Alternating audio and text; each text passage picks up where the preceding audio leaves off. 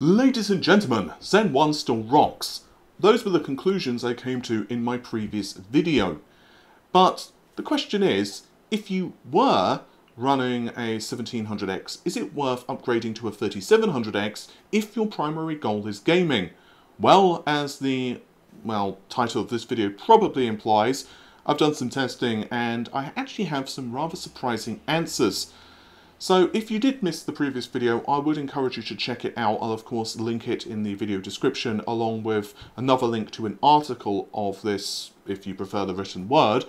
But the TLDR is that I was testing the 1700X based of course on the Zen 1 architecture in modern day games such as Cyberpunk, Shadow of the Tomb Raider, and basically seeing how well it compares against the 10900K with both stonks speed as well as overclocked and overall the chip did fairly well, proving that while minimum frame rates were definitely slower than a 10900K, not surprising, it did pretty decently, especially if you did give it the benefit of faster RAM and some love and care with overclocking and tweaking, proving that the ooh shiny factor is a strong factor, but it's not necessarily the case where you have to upgrade just because a new product is released.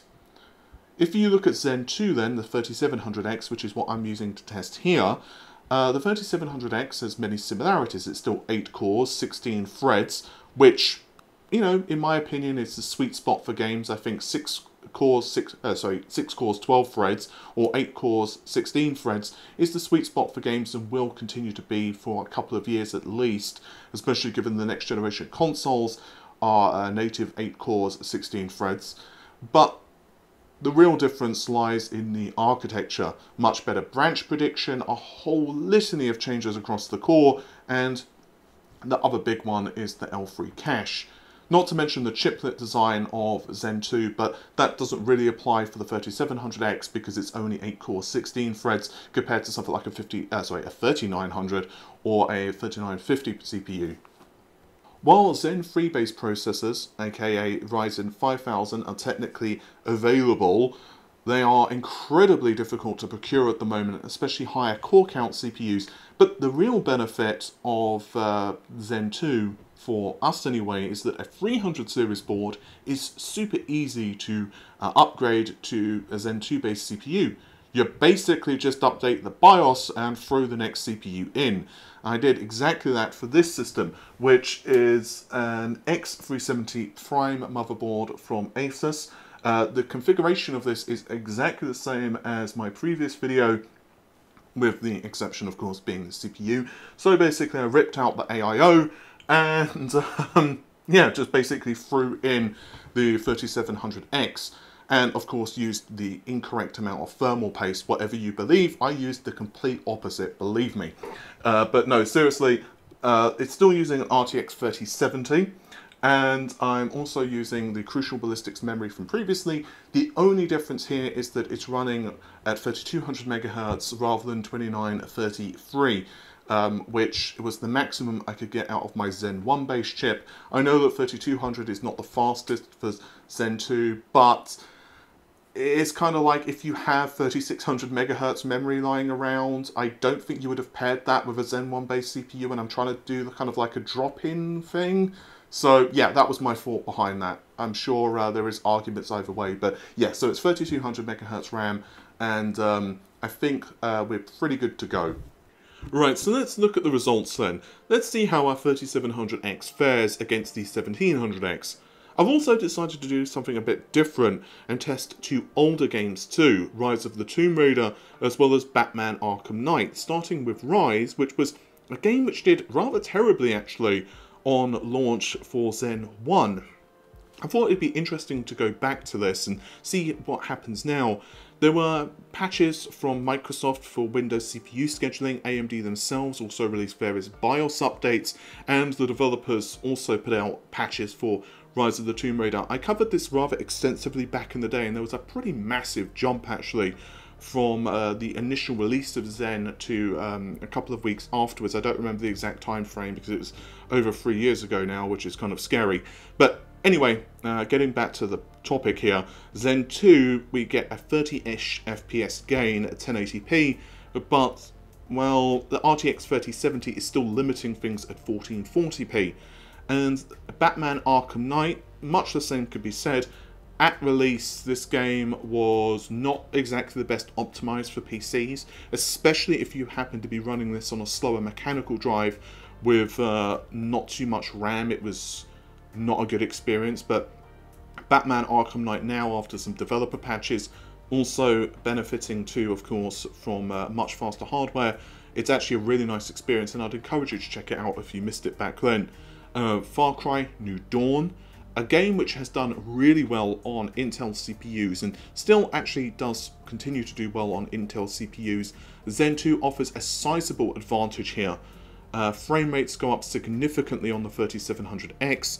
Uh, the 1700X didn't even hit 60 FPS um, minimum in our benchmarks and so of course that definitely does impact playability so the 3700X is much faster here and also Gears 5 I want to discuss this verbally so there's about a 20% performance leap with Zen uh, going from Zen 1 to Zen 2 but um, I've had to manually tweak the graphics options here Gears 5 actually had a uh, update recently which included the Hivebusters DLC but also added several new GPU features too.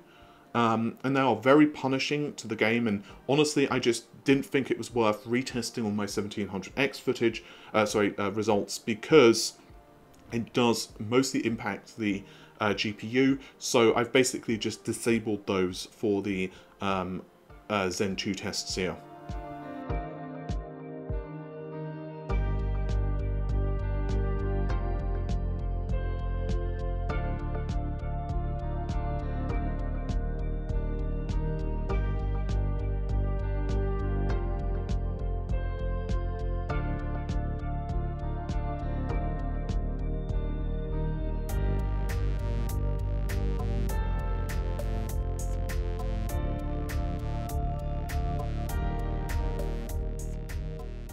Right, let's draw some conclusions. What have we learned? Well, first of all, AMD have given us a massive, tangible upgrade from Zen 1 to Zen 2. Technically, we are skipping a generation with Zen Plus, however, it was kind of an interim upgrade and nothing huge of note. I did test it back in the day, about 3% IPC gains at the same clock frequency, nothing compared to what we're seeing here, of course, with Zen 2. But it's a very easy upgrade. Again, you just simply plonk it in to your motherboard, assuming you could upgrade the BIOS, and almost all decent motherboards allow you to upgrade the BIOS, MSI, Asus, and so on and so on. But is it worth it for you? Well, it really comes down to your situation. As I mentioned earlier, the ooh shiny factor is a compelling factor, but it doesn't necessarily dictate if you should upgrade. If you're running this uh, CPU, a 3700X, with an older card such as an RX 570 and expecting higher frame rates at 1440p, well, it's not really going to happen. Minimum frame rates might go up a little, but is it worth it? Mm, well, kind of depends on you. If you have a more sizable GPU, such as a GTX 1080 Ti, an RX 5700 XT, or are planning an upgrade to something like an RTX 3060 Ti, I've done reviews of the 3060 Ti, which I'll link in the video description, as well as the 3070, then yeah, I can definitely see this being more of benefit. As I discussed in my previous video, the 1700X and other Zen 1 based CPUs also really does rely on fast memory clock frequencies, and the same thing, of course, could be said for Ryzen 3000. So if you are running slow memory with your Zen 1 based rig, then you're not going to get much of a, a performance you know jump anyway moving to Zen 2. If you're trying to pair this with like 2133 megahertz, for example, I've got bad news for you. So if you're in this situation where, well, okay, I need to buy faster memory, I need to buy the CPU and I also need to buy a new GPU as well. At that point, you're essentially looking at an entire new platform. So I personally would maybe just wait and get a like 5600X or a like 5800X, depending what goes on in prices in a couple of months. But I am thinking of this for the future. That's right, I'm doing this for future generations. Um, we don't know how prices are going to change over the next, you know, 6, 12 months. And while shortages are a pain in the ass right now, in 6 or 12 months I have a feeling that stock is just going to be overflowing for Zen 3 and most likely people will also be selling off their Zen 2 based systems too.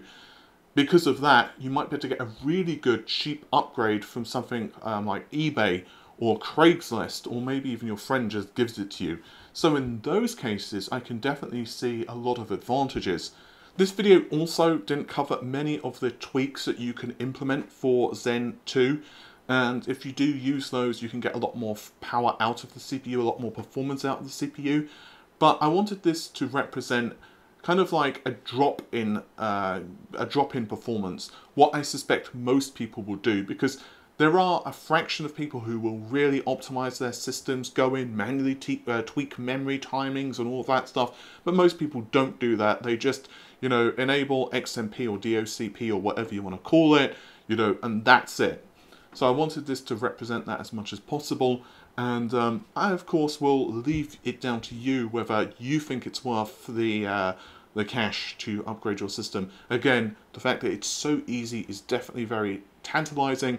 The performance uplift is huge for Zen 2, but is it worth it? Really comes down to the rest of your components and budget as always. Anyway, I think that just about covers it for this video. If you have enjoyed it, then check, of course, the article, which is linked in the video description, and also consider subscribing to the channel. It's the best way you can support us, and definitely consider clicking the bell icon too, as YouTube has a tenuous relationship at best with notifications, so the bell icon does help there. You know, occasionally pass one another in the street and they kind of give each other the wink, but um, nothing really happens. They just flirt occasionally with notifications, so that does help a lot. And of course, like and comment as well, uh, depending on, you know, let me know whether you're considering an upgrade or whether you're just happy with your Zen 1 or whatever based system. With that said, thanks very much for watching. Take care of yourselves. Bye for now.